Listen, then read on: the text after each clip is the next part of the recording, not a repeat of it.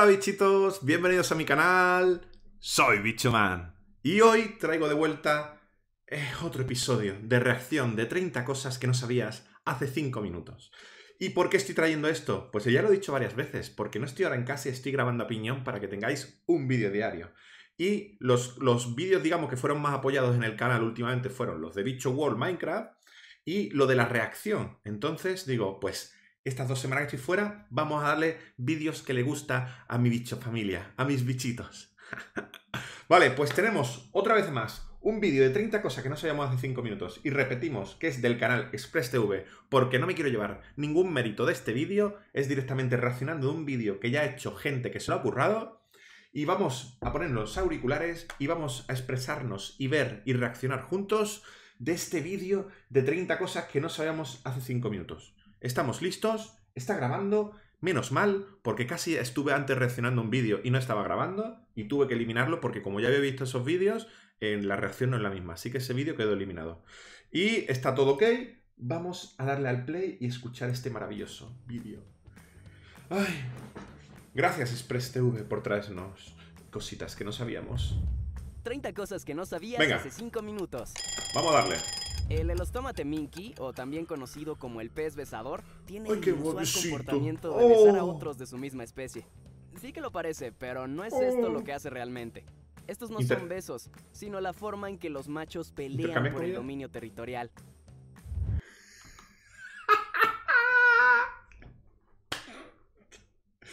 Creí que iba a hablar algo de como de aparearse, de relacionarse con las hembras, de procrear, del baile del cortejo. No, no, no, no. Está peleando con otro macho. Está peleando con otro macho. ¿Cómo vas a ganar a base de besos? tú imagina en la vida real que te llevas mal con alguien y dice, ¿qué pasa? ¿Qué pasa? Y empezáis a ver quién gana antes. Y empezáis a dar besos a ver quién gana con el otro. ¿Pero en qué cabeza cabe eso? A ver, que que está la parte de hace el amor y no la guerra, que eso es muy bonito, pelearse a besos. Pero mm, no me quiero imaginar cómo acaba la pelea, el otro con los labios ya sangrando y el otro enamorado de la otra persona. Bueno. ¿Sabías que existen arcoíris blancos o neblina? Estos carecen no de color debido al tamaño de sus gotas. Son mucho más pequeñas que las que forman un arcoíris normal. Esto impide que logren el efecto de prisma que conocemos. Pues el juego de Buscaminas fue tan controversial en algunos países por uso de minas que Microsoft se vio obligado a crear una versión alterna del juego llamada Flower Garden que cambiaba las minas por, flores. Deja en los comentarios qué versión había en tu país. Que quitaron las minas por flores. Esto volvemos al ataque de besitos. Porque las minas estaban un poco feas. Eh, digamos, podían ser un poco gore. Eh, no, hombre, no, tampoco tenemos que ir hasta ese punto, por favor. Que estamos todos los días jugando a juego que hay balas y disparos. Dios mío. Venga. En el idioma inglés a las berenjenas se les conoce como eggplant, literalmente traducido al español como planta de huevos. Esto es porque antes de que la planta madure y se convierta en la verdura púrpura que todos conocemos, es muy parecida a los huevos de un ave. En Harry Potter, todos tenemos berenjenas. Los chicos los chicos tenemos berenjenas puestas ahí bien Puede ver a un personaje histórico en una de las pinturas de Hogwarts. Ella es Ana Boleana, la segunda esposa del rey Enrique VIII de Inglaterra. Esto debido a que en esa época se pensaba que era una bruja. John C. Mm, gracias por la información y ese dato, pero creo que... Mm, bueno. Me y Jackson de Hannah Montana tienen la misma edad. La línea ¿Qué? Vale, aquí hay un problema. A ver, el de la derecha aparenta 43 años. Bueno, los dos en realidad se conservan bien. 43 años no están nada mal, los dos. Pero el de la izquierda, hijo mío, estás perfecto para trabajar de hobbit en El Señor de los Anillos. Muy bien. La línea del medio campo del estadio de fútbol Serao en Brasil pasa justo por en medio del Ecuador, por lo que cada equipo defiende un hemisferio. Muy bien, yo defiendo el, hemisferio norte y tú el sur. mojada en el espacio. Al exprimirla, la tensión superficial y la falta de gravedad hacen que esta viaje al cuerpo más cercano. En este caso, la mano de Qué guay. Qué chulo eso. Yo, el, relacionado con el tema de, que no hay gravedad, siempre me ha hecho ilusión eh, cómo sería dormir. Dormir en el, en el espacio sin gravedad. Porque si te, si te fijas, cuando estás digamos, durmiendo, a mí me molesta muchas veces, a veces, digamos, el cuerpo que me, hace sudar si estoy en contacto con la piel o si estoy en una postura incómoda que digo, ah, esto me está molestando, la pierna aquí. Pero tú sabes lo que tiene que ser dormir flotando ahí. Oh, qué gustito ahí en postura fetal.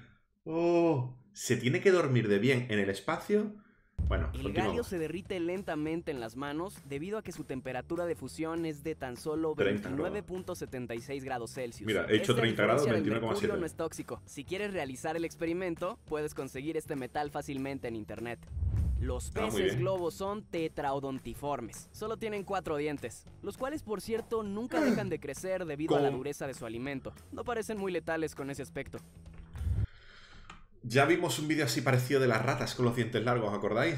¡Buh! Por Dios, solo cuatro dientes, como un abuelo. ¿Sabías que cuando barres o aspiras tu casa es muy probable que parte del polvo y tierra que ves provenga del espacio? Todos los años caen hacia la Tierra 40.000 toneladas de polvo espacial que alguna vez formó parte de cometas y asteroides.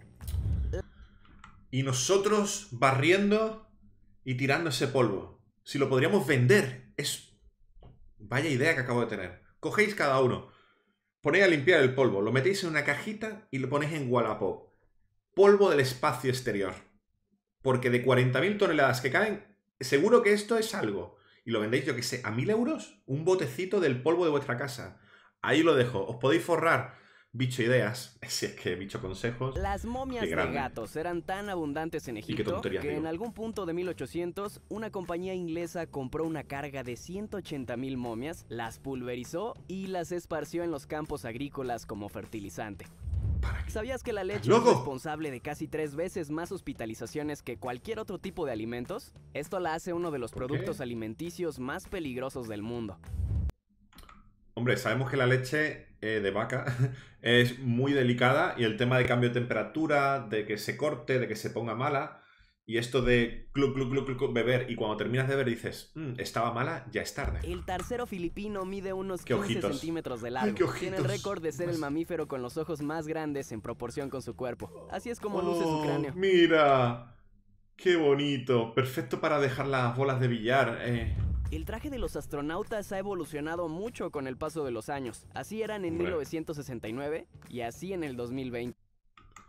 Hombre, el, del 2020 tengo un poco de mis dudas si está usado para películas o es de la vida real, ¿eh?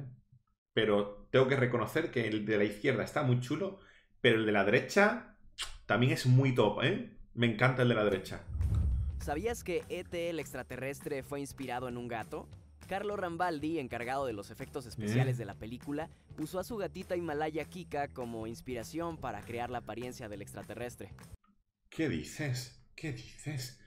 ¿Qué dices? Pero por mucho que lo estés calcando, que no se parece a tu gato.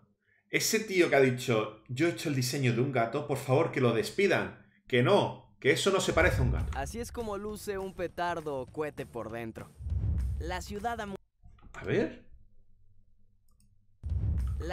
No, perdón. Eh, ¿Y cómo se hace eso?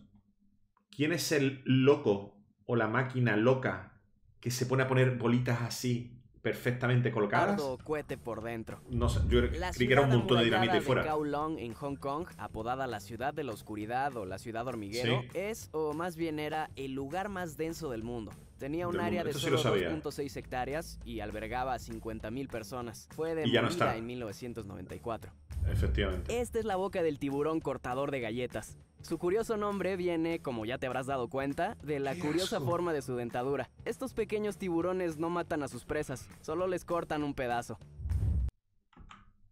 ¡Qué mala leche!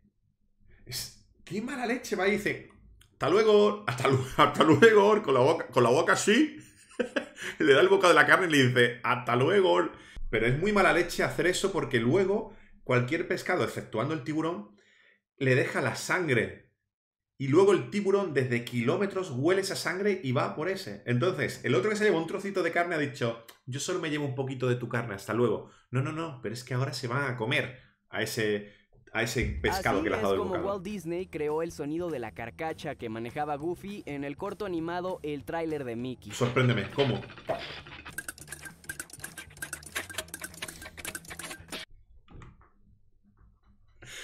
Me esperaba algo más épico. Por favor. ¿Sabías? Oh, vaya ruidito. Eh, yo creo que es. No hay huevos hacer el sonido así. dijeron, ¿qué? Y así, y lo hicieron. Que durante el desarrollo del primer Street Fighter, el personaje de Balrog se llamaba Mike Bison, haciendo referencia al boxeador del mundo real. Mike se parece mucho. se parece terminó cambiándolo al que conocemos, Balrog, por temor a ser demandados. El nombre se rehusó y acortó. Lo lleva el jefe final, M. Bison. George Barrett. Muy buen dato. Para los que le gustan el videojuego. Jones creó una máquina ciclista para tejer. Con solo pedalear 5 minutos tejerás una bufanda. Con su ingenioso invento busca alegrar a las personas y promover la actividad física. Este ejemplar del óculo dentavis caungrae quedó atrapado en un trozo de ámbar hace unos 100 millones de años. Su tamaño era similar al de un colibrí abeja, el ave más pequeña del mundo, entre 5 y 7 centímetros de largo. ¿Os acordáis de la película Jurassic Park? Eh, que se metió con el con el ámbar, que supuestamente es como la resina del árbol, que después pasan millones de años y se queda como una piedra, eh, pues hay muchísimos de ámbar de esto por el mundo que tienen restos prehistóricos de bichos que hay dentro. Y vaya bicharraco que había ahí dentro. Algunas monedas son tan livianas que no logran romper la tensión superficial del agua. Algunos ejemplos son el yen japonés y el jiao chino. Un grupo de científicos holandeses inventaron unas pequeñas jaulas microscópicas en forma de pirámide hechas de silicón con las que las pueden aislar y estudiarlas de cerca. Una jaula para microbios. y encima están muy bien hechas, ¿eh? Porque atención, atención a la forma perfecta. Eh, Dios mío, eh, la gente se aburre un poco, yo creo. bueno. Con esto hemos acabado, ¿verdad? ¡Ring! Vale, tiempo. Pues muchas gracias, Express TV, por traernos otros datos curiosos más. 30 cosas que no sabíamos hace 5 minutos. Algunas de ellas sí las sabíamos.